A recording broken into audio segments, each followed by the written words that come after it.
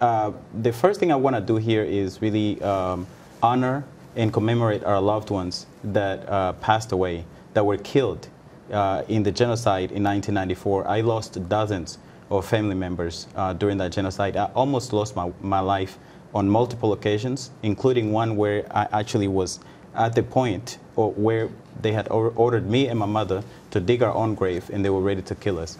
Um, so I just I want to honor the victims. I want to honor all the Rwandans. There were Tutsis killed in that genocide. There were Hutus killed in that genocide. There were Twa people who were killed in that genocide. And I want to honor all of them, every single one of them. And uh, lastly, the Twa people in Rwanda, who are the indigenous and the original inhabitants of the country of Rwanda, uh, are almost on the brink of extinction.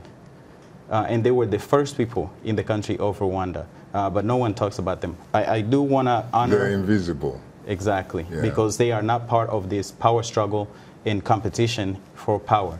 Uh, but I do think that uh, also we have failed over the years since the genocide in Rwanda by allowing, giving uh, Kagame carte blanche to kill inside of Rwanda and outside of Rwanda, invading the Congo, committing what the UN has characterized as genocide themselves, and, and, and have let him off the hook. No justice for those victims.